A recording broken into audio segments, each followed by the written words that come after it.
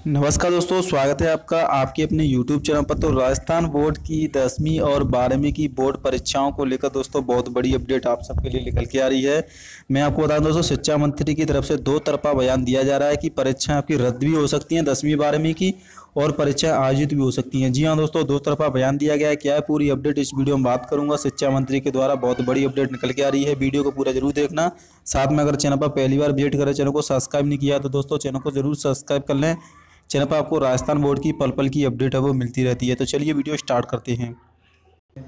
तो जैसा कि आप देख सकते हैं दोस्तों, रद्द हो सकती हैं दसवीं की आरबीएससी की परीक्षाएँ।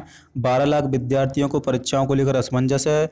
दरअसल मैं आपको बता दूँ दोस्तों माधव शिक्षा बोर्ड ने एक जून में दसवीं की परीक्षाएँ कराई थी लास्ट ईयर लेकिन उस समय कोरोना के मामलों में कमी आई थी, लेकिन इस बार हालात ज़्यादा ख़राब हैं और ब्लैक फंगस इसी के साथ दोस्तों आपका जो तूफ़ान है, वो भी राजस्थान में काफ़ी ज़्यादा केयर मचा रहा है। तो ऐसे में दोस्तों, आपकी परीक्षाएँ ऑफलाइन आयोजित करवाना कहीं ना कहीं कठिन हो सकता है। अगर आपकी परीक्षा होती है दोस्तों तो जून में परीक्षा नहीं होंगी, जुलाई में आयोजित हो सकती हैं।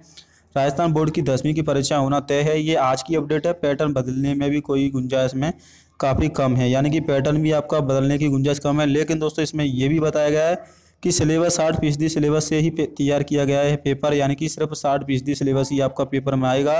और इसी के साथ दोस्तों, आपको पंद्रह दिन पहले बता दिया जाएगा कि आपके एग्ज़ाम होंगे या फिर नहीं होंगे।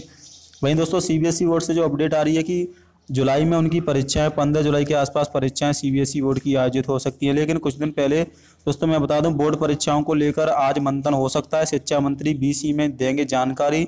इसको लेकर दोस्तों वर्चुअल बैठक भी हो चुकी है और इसी के साथ दोस्तों कोरोना की वजह से जो अटकी हुई परीक्षा उसको लेकर बैठक है दोस्तों। वो एक दो दिन में हो सकती है। इसी के साथ एक जून को आपको फाइनल डिसीज़न आ जाएगा राजस्थान बोर्ड की दसवीं और बारहवीं की परीक्षाओं को लेकर। वहीं दोस्तों, राजस्थान बोर्ड के सीनियर अधिकारी का कहना है कि केंद्र सरकार का जो आदेश होता है, अगर केंद्र सरकार बोलता है कि परीक्षा आयोजित करवानी है तो हम एक महीने के अंदर परीक्षा आयोजित करवा के रिज़ल्ट तैयार कर देंगे। इसके लिए पेपर हमारे पास पहले से ही तैयार हैं। अगर अगर बोर्ड मना करता है कि परीक्षाएँ आयोजित नहीं करवानी है तो दोस्तों, आपकी परीक्षाओं को रद्द करके आपको प्रमोट भी कर सकते हैं। तो कहीं ना कहीं दो तरफा बयानबाजी की जा रही है। पहले बताया गया था रद्द हो सकती है आरबीएससी दसवीं की परीक्षाएँ। अब दोस्तों, कहा जा रहा है कि राजस्थान बोर्ड की दसवीं की परीक्षा होना लगभग तय है। तो ऐसे में अब किसकी बात सुनी जाए दोस्तों? स्टूडेंट असमंजस में है। लगभग 21 लाख से ज़्यादा स्टूडेंट हैं जो इंतज़ार कर रहे हैं बोर्ड परीक्षाओं की तारीखों का, कि परीक्षा आयोजित होंगी या फिर नहीं होंगी। लेकिन दोस्तों, आपको थोड़ा इसके लिए समय का इंतज़ार करना होगा। जो भी अपडेट आती है दसवीं या बारहवीं की परीक्षाओं को लेकर, चैनल के द्वारा आपको अपडेट कर दिया जाएगा।